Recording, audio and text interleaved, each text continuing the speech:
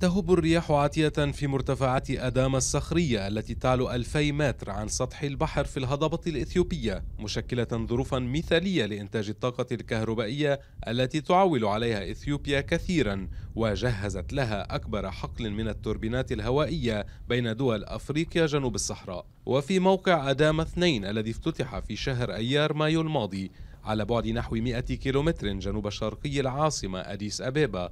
يكون الهواء قويا جدا خلال موسم الجفاف ومن خلال 100 وتوربينين مصنوعة في الصين بارتفاع 70 مترا.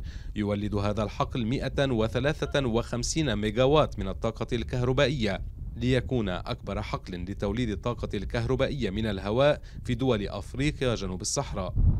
وإزاء هذه الحاجة الكبيرة لزيادة إنتاج الطاقة تعول السلطات بشكل كبير على المصادر البديلة من السدود على ضفاف نهر النيل ولا سيما سد النهضة الذي سيكون أكبر سد في إفريقيا إلى توربينات توليد الطاقة التي تتميز بأنها ذات تقنية بسيطة وتكاليف متدنية.